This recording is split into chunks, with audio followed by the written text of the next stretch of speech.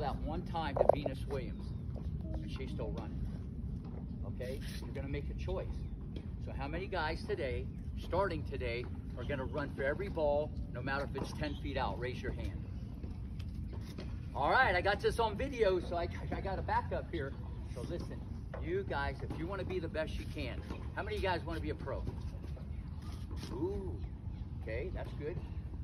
Listen, a full scholarship to college or playing college tennis or just playing on your high school team, it doesn't matter what your goal is, okay? If you listen to what I'm saying, okay, and have an amazing attitude, never make excuses, and that's easy to do, never make excuses, run for every ball, all right? Anybody, anytime, anywhere. How many of you guys like to compete? Raise your hand. How many of you guys like to play tournaments? That's what it's all about. You can drill, okay, you can take lessons, but what this is all about, when the bell rings, okay, when the bell rings, you gotta wanna compete, all right? You gotta love competition. And here's what's gonna happen. You're gonna lose, and you're gonna fail, all right? You're gonna get knocked down. And this is what this is what makes you the best you can be. How are you to respond? How are you to respond when you lose? Are you to get more determined? Okay, like that answer. You got to get more determined. You're going to lose. Think about this. The best baseball players, they fail. Because I know you play baseball, okay, at a high level. All right. Best baseball players, they, they fail seven out of ten times. The best basketball players are going to miss 50% of the time the best quarterbacks of all time. You know what a quarterback is, right? Football. They've thrown the most interceptions. The best shooters of all time.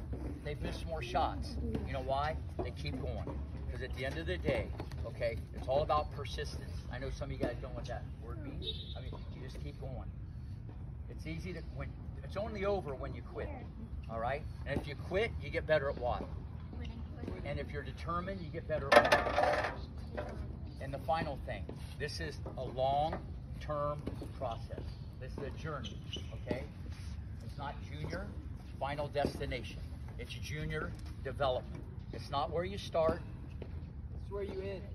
What? It's where you end. Where you finish. Whoever said that gets a T-shirt. Or $20 from Jason. Either way you want to go. Okay. So, listen. I'm just telling you guys. I've seen this movie so many times.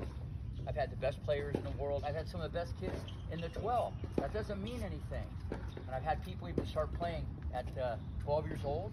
There's this one guy I know. He's picked up a racket at 12 years old. Taught himself to play. No lessons.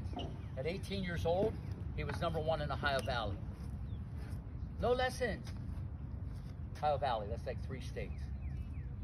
And he's talking to you right now. Okay?